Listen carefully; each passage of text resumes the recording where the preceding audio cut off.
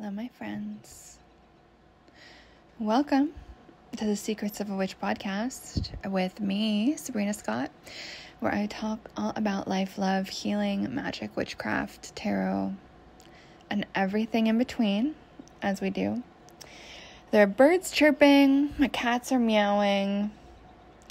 As per the usual, happy fucking Monday if you guys are listening to this on time. it's the beginning of a new week, second week of April. So much vibe changes happening re- like lately. It's been a bit interesting. Easter, aka Christian Vibe Weekend, as I've been calling it, is now over. And you'll want to keep your eyeballs and your ears on YouTube today because I will be, or already have, depending on when you're listening to this, uh, posted a tarot and oracle card vibe check reading for the coming week. So you'll definitely want to watch that. Everyone has loved them so far, and so go check it out. My YouTube is youtube.com slash Sabrina Scott. Pretty simple. So check it out, check it out, check it out. So I hope y'all had a fucking great weekend. It's nice to be back. I did take the occasional day off, and I'm thinking about what my schedule will be going forward. I know releasing a new podcast episode every single day is probably not sustainable. So I'm like, do I want to take weekends off? What do I want to do? We'll figure it out, and I'll keep you posted on what to expect. But yes, yes, friends. So for today's episode, I want to talk about something I've been thinking about a lot that is related to the brand new massive fucking course that I'm going to be launching really soon that I have been to be honest too much of a chicken shit to launch until now even though it's been in my head for like more than a year which is a giant course on feminine energy. So it'll probably be called feminine energy without bullshit just because the format is really kind of like the same as my other two without bullshit courses. And so just to keep expectations in line with like what it actually fucking is, that's kind of what I'm thinking. But the other name for this course would be Goddess Rising. And that was actually the most popular name. I did a vote on Instagram stories over the weekend, and everyone loved that. Though I think the um, Feminine Energy Without Bullshit came in second, which is cool. So who knows? Maybe I'll just blend them when I launch it. I don't know. But one of the things with that whole like bubble, the whole like cloud of feminine energy topics, like the stuff I want to think about, I just have been designing the curriculum and working on that. And I've also been testing out my ideas with people in the DMs. And there is this girl I follow on the good old Instagrams who is pretty interesting. She's anonymous. I don't actually know anything about her. Um, she's probably, there's no way she's listening to this podcast. I don't want to say too much, but basically, she is someone who used to be in the sugar baby, um, like sex work space, and she's now transitioned into like normal dating. And so her Instagram is super interesting because like you kind of see like all these trust issues with men and you know, just like the jadedness of like being in that space for so long, like understandably, because, you know, a lot of those men are married and that can give any girl trust issues if she didn't have them before she was entering into that space. And so it's been so interesting to see her like move from one space to the other and start to be in like a normal relationship and just navigate communication and trust and all of that. And like I chat with her every now and then over the DMs. Um, again, I don't know really anything about this woman, but one thing I appreciate about her her gram is she'll share screen caps with her text conversations with her man, and like she'll just kind of be really open about what she's working on in her communication and like you know calling herself out and like you know just using it as a really interesting education tool for everyone who's kind of been along for the ride with her story and I remember, like, over the weekend, she posted this interesting conversation where I guess her bay is like out traveling and she sent a bunch of like critical kind of text messages to him, being like, you know, if I was out traveling, I would have already sent you photos. Like, you know, like kind of just being really critical. Like, why didn't you send me photos? Like, I want you to send me photos. Like, all this stuff. Like, being like, yeah, critical, like criticizing. And like, it wasn't coming from a place of like, if you did this, I'd be so happy. It was coming from a place of like, I'm mad you didn't do this. If that makes sense. And so I decided to reach out and be like, hey girl, like, are you open to some feedback on this? this exchange and thankfully she was like yes and so I gave her this like like what I would have said kind of like based on what I've learned. Like I just gave her like I guess a script to use. And I can't remember exactly what it was I said, but like coming off the top of my head, it you know, just like going off of kind of what I've learned with all of this, it would have been something like you know, like let me just get into my character of dating Sabrina. Like I probably would have said something like, "Hey babe, like I hope your flight went amazing. I hope like your travel went really well and that you're not too tired and you're settling in really well. And I miss you so much already. And I know you're not a big photo taker, but it would make me feel so close to you and so connected and so loved and cared for if you shared some parts of your day with me and just sent photos as you get the chance. I would just love that so much. It would just make me feel so close to you and so happy. Sleep well mwah, with like a little emoji. And now thinking like that and speaking like that is like second nature. But it took me a really long fucking time to learn that. And anyways, like I sent this to her and I was like, yeah, feel free to adapt it. Like that's what I would say if I was you and she did. She like wrote her own version and she sent it and then the guy responded really well.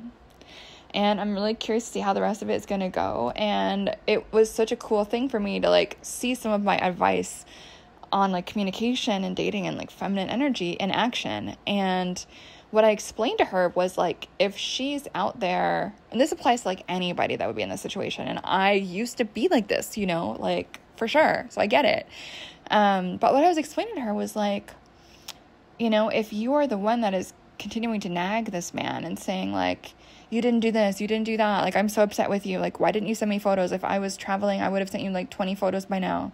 Like, nagging, complaining, criticizing, rather than trying to come at it from a place of, like, hey, I know you must be wiped. If you could do this thing, it would make me feel so connected because like those are two different energies, right? And so that first way of like coming at the guy and being like critique, critique, critique, like what that is is it's trying to control it's controlling energy. It's trying to create an outcome. But what it actually comes from is like a space of insecurity and vulnerability. And instead of trying to get those needs met, the need is probably reassurance. The need is probably to feel close and proximate and to feel connected and loved and cared for. That's probably the need. There's probably a fear that that is not, you know, going to be met, but like due to various reasons, right? Um, like I know it can be really stressful when people's partners travel, especially if it's a new relationship. Um, sometimes even if it isn't, right? But what I was explaining to her, and like what I'm explaining to you guys now, is like when you're being that way to somebody, you are in your masculine energy. You're being aggressive. You are pursuing. You're nagging. You're controlling. You're criticizing. And it's a negative form of masculine energy. Notice that. A negative form of masculine energy. And so then what happens? The guy is going to retreat he's gonna fuck off. He's not gonna text as much. He sure as fuck is not gonna send many photos. If he does, it's gonna be begrudging. And he's gonna be like, I'm tired, fuck off. Basically, is what's gonna happen if you're like controlling, controlling, controlling. And like, I've been in her shoes before. I've been in that situation before, and that's exactly what happened. Didn't get me the result that I wanted. It didn't get me reassurance. It didn't get me closeness. It just got me pushed further away. And then I felt like I had to pursue even more. And then it totally fucked up the masculine feminine energy dynamic. So, what I was doing in the past and what this woman also was doing was pushing the man into the feminine energy space. And with the laws of energetic polarity, only one party can be in masculine energy at a time. Only one party can be in feminine energy at a time. And in some couples, and some relationships, this is like constantly like ebbing and flowing, and that works for people. Uh, in some relationships, it's like you know, the roles are a bit more defined. Um, not to get too on the topic of sex right now, but if anyone is familiar with the concept in like BDSM of being a switch, like what that basically means is someone who can switch back and forth between that dominant energy and that receiving energy, right? And so I'm not talking about sex right now, I'm just talking about the energy of communication, the energy of two people relating to one another, right? But it's the same idea in terms of the masculine energy, the go getter energy versus the feminine energy. So, like in that example that I gave with this person, and if lady, if you're listening to this and you're offended, I'm using your example. I'm sorry. Don't worry. I'm not calling you out. It's not a bad thing. It's just a learning experience that I think is so interesting for all of us, right? And I just thought this was such a cool learning moment. So, but but the interesting thing about it is like her feminine her feminine energy was like completely gone. And so she was stepping into an unhealthy masculine. And then he was pushed into an unhealthy feminine right? Withholding withdrawing but like not from a place of empowerment from a place of like woundedness right? And so it was just this like wounded interaction which like no one wins. And so what i told her is like no one wins when we're just critiquing and criticizing and coming from that place of attack when we're feeling vulnerable right? And so think about it, right? Like in that situation, what she really wanted was closeness, to be chased, to be pursued, to have someone say, Hey, I care about you. I'm thinking about you. I'm texting you. I'm sending you my day, right? Which would be masculine energy. But what's so interesting is like when we are in our unhealthy masculine as women and we nag men to like reassure us or whatever, we actually can't receive it anyway. Like it doesn't really land. Have you guys ever noticed that? At least that was true for me back when I was like that, right? Like if I kept nagging a guy for reassurance and he would give it, I still wouldn't really believe it because I asked for it. It means so much more when it's actually just given freely. And so the interesting thing, right, is like if we're able to step back into our feminine energy and lean back, communicate what we want in like that healthy, cute way, the example that I just gave and then give him the chance to step up. So when we're in our feminine energy and we communicate in that way, loving, kind, honest, making an ask, but not making him bad, not making him evil, not making him wrong, right? Just saying, this will make me feel so close to you. This will make me feel so good. From a place of pleasure, right? A place of love, a place of care, a place of closeness. Working together as a team, not being enemies, right? Then we can lean back in our feminine and wait and watch and see what happens. And a guy will either step up or not. And if he doesn't, then he's probably not the guy for us. Sorry to say, but like, you know, that's the truth. But if he does, then we can actually receive it. Because if we lean back enough in our feminine energy, then the man is able to be empowered to step into his healthy masculine energy and to show up. Right? But a man can't do that unless we give him the space and time to be able to do that. We can communicate our needs, we can communicate our desires. It's okay to walk if that's not met. You know, that's fine. I think a lot of women don't want to do that. They would rather nag. At this point in my life, I just am like, okay, bye. no problem. Clearly, it's not a fit. And that clarity means that I'm never in this push and pull dynamic. And if that push and pull dynamic starts to happen and it's like a weird vibe, then I'm like, we're good. I'm done. Bye. It's not going to work. Right? And so a lot of women have this scarcity mindset with dating where it's like they push and push and push and push because they think that there's no other man that's going to like them. But it's like there's a bazillion men that will like you. Just like move on. But what I'm trying to say here, like the point of all of this babble, is how we communicate is so important. And when we communicate from that grounded and empowered feminine energy, we create the space for the man to show up in his empowered masculine energy. Is that always going to happen? No. But when we are in our empowered feminine energy, that really brings out what is really in a man. And that is a cute phrase that I am stealing from a friend of mine um, who is not coaching yet, but I hope she decides to one day. And if you're listening to this, hi, please coach. Um, and I really think it's true, right? And so when we are in our empowered feminine energy, if a man is capable of stepping up into his empowered masculine, he's going to do it. If he's not, then he's going to like, you know, be fucking a weirdo and it's going to be really obvious that he's like acting in a way that just seems very wounded. Like, I'll give examples of that in another episode, but actually, I think actually episode four of this podcast is all about wounded masculine energy. So go listen to that if you haven't already, just for some examples of what that looks like. You know? And so I think this is going to maybe sound fucking unpopular, but I think we as women also need to take some responsibility for how we communicate. And I think that's just a thing. And when we are not aware of ourselves and when we're in this space of critic like being a critic, like and then we wonder why our relationships suck. Like it's very interesting, right? And it's like I've fucking been there, so I get it. And like I'm only talking about this because I have been there and I remember what it was like to be that way. And I was younger, I was like my early 20s and like I was a mess for sure in that regard.